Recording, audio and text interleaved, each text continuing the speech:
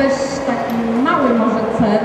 W ubiegłym roku na tym rowerku w takim ostrym tempie przejechałam 3 minuty. W tym roku 5. Dla mnie to jest naprawdę rekord i myślę, że to jest okazja dla każdego z nas, żeby jakiś swój rekord pobić. Nie patrząc, nie stresując się tym, że są tacy, którzy jadą pół godziny w bardzo ostrym tempie. Jest szansa dla tych, którzy jeżdżą amatorsko. Zachęcamy, spróbujcie Państwo. Warto jeździć na rowerach.